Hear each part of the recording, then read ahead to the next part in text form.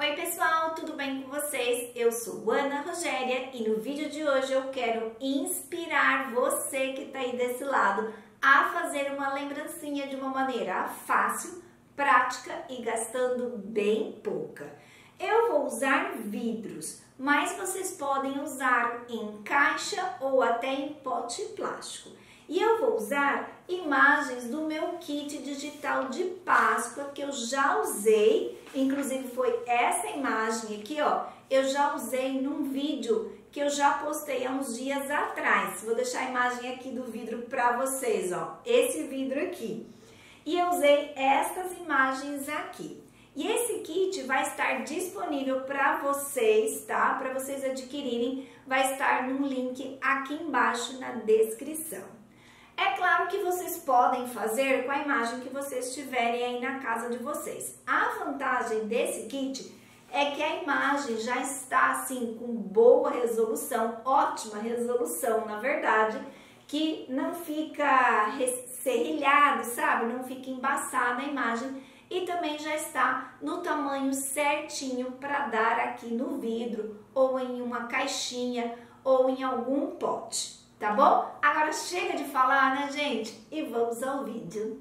Para esta ideia, vou usar este vidro. Ele é de mais ou menos, acho que 300 ml. E vou usar estas imagens. Eu imprimi num papel transparente e adesivo. Mas você pode imprimir num papel branco mesmo, que também vai dar certo. Vou primeiro passar um paninho com álcool no vidro e agora é só retirar a parte de trás, né? Porque é um adesivo e vou colar aqui no vidro. E ele fica assim, ó, fica transparente. E aqui, ó, estão dois vidros. E nesses vidros, as tampas eu vou pintar. Uma eu vou pintar de rosa e a outra eu vou pintar de azul clarinho. E a tinta que eu estou usando aqui é a Pinta Tudo da Transfix Hobby Art, que não precisa de primer. E olha só que gracinha que vai ficar. Nesse aqui eu vou colocar a tampa azul e vou colocar essa fitinha azul amarrada aqui, ó, na parte do vidro, na parte de cima do vidro. E aqui na tampa eu vou colar um pompom amarelo. Neste aqui eu vou colocar a tampa rosa e vou amarrar uma fitinha rosa também. E aqui eu vou colar um pompom rosa.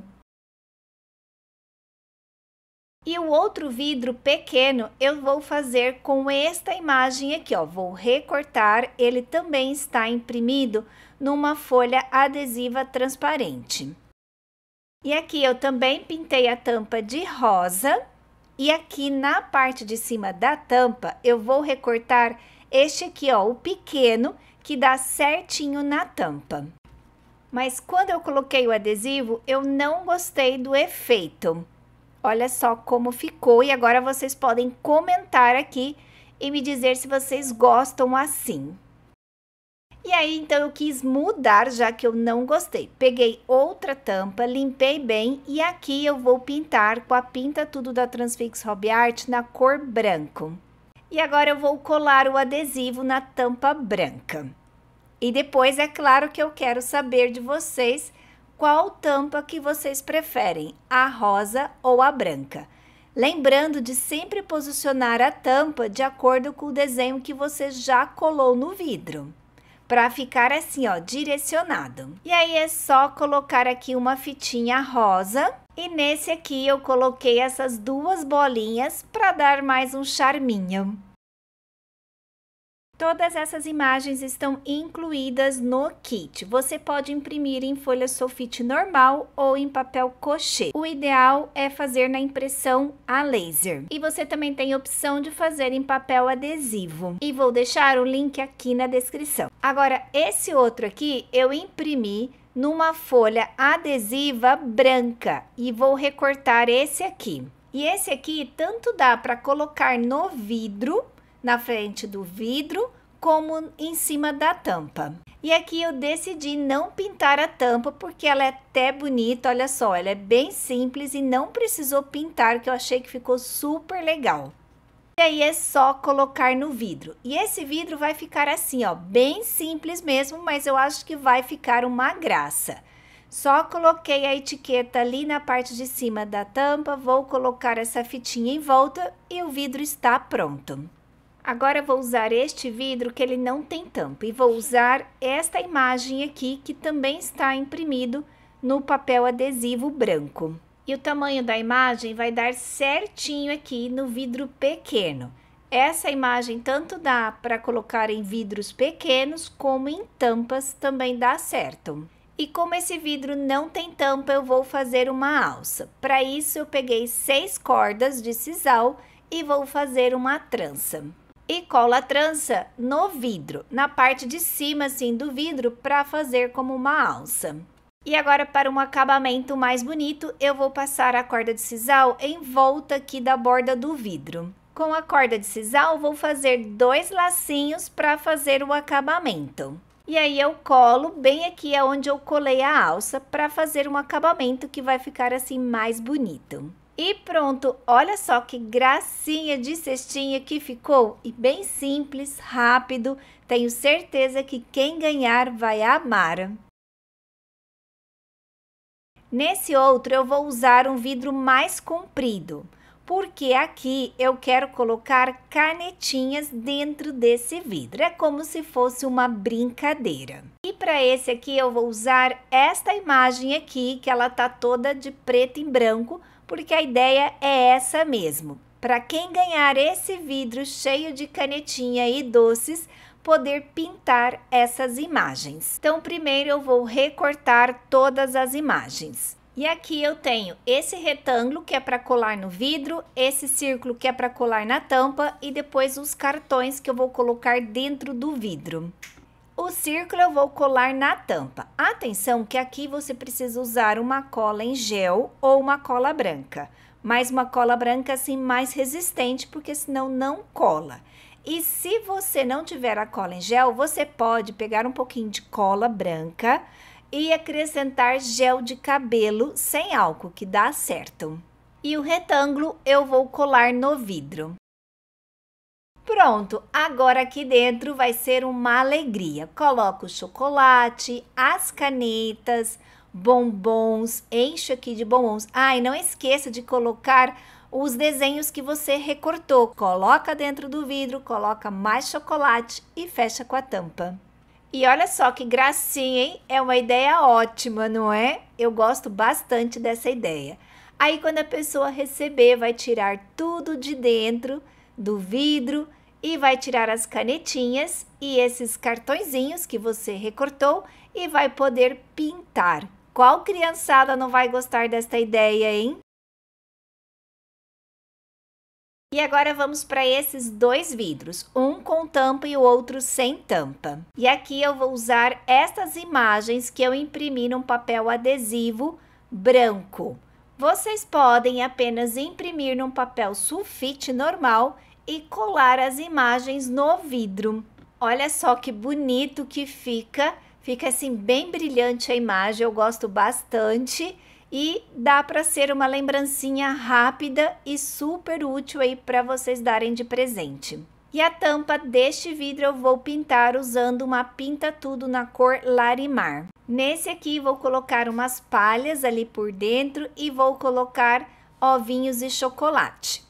Aí aqui na parte de cima eu decidi fazer um ninho. Vou ensinar vocês a fazer um ninho. Peguei um pedaço de corda de sisal, essa aqui tem mais ou menos uns 25 centímetros. E vou desmanchar, ó, assim, ó, desenrolar e vou usar apenas um desses cordões aqui. Já vai ser o suficiente para fazer o ninho que eu quero.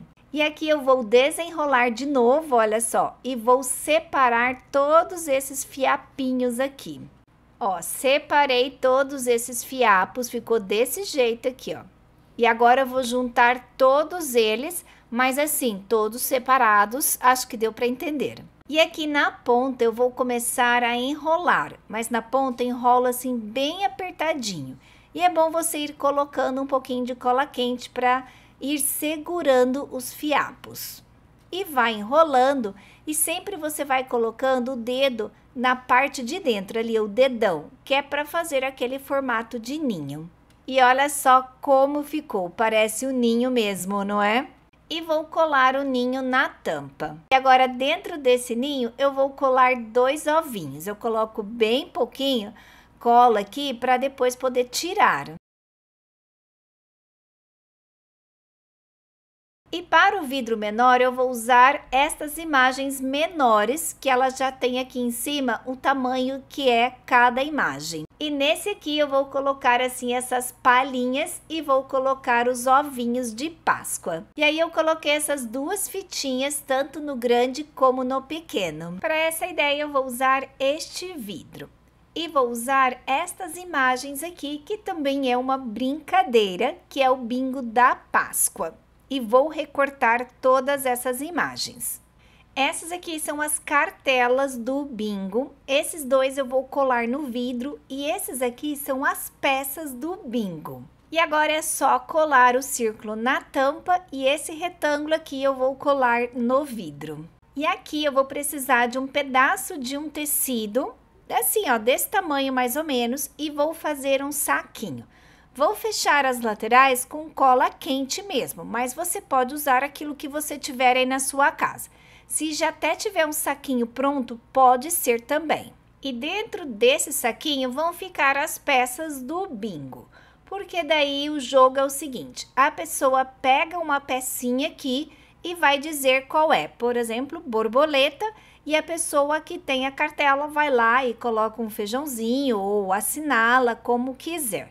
E vou colocar essa fitinha para poder fechar esse saquinho. E agora vou colocar aqui o saquinho dentro do vidro junto com bombons e a cartela. Se você quiser, pode colocar também canetas aqui dentro que fica legal. E pronto, é uma maneira divertida, uma lembrancinha fácil e super legal aí para a criançada. E aqui estão os vidros, olha só como eles ficaram são inspirações para vocês fazerem aí na casa de vocês. Bem fácil, bem simples e barato, não é verdade? Agora comenta aqui embaixo qual desses que vocês mais gostaram. E aí, o que, que vocês acharam aqui desses vidros? Vocês viram como é fácil a gente fazer esse tipo de lembrancinha?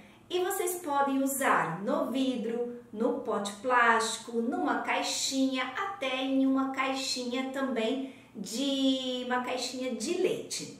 Agora eu quero que vocês comentem aqui embaixo qual desses que vocês mais gostaram. Não esqueçam de compartilhar esse vídeo, de deixar aquele like. Se é novo por aqui, se inscreve aqui nesse botãozinho que tem aqui embaixo. Um beijinho muito grande para vocês e até o próximo vídeo. Tchau!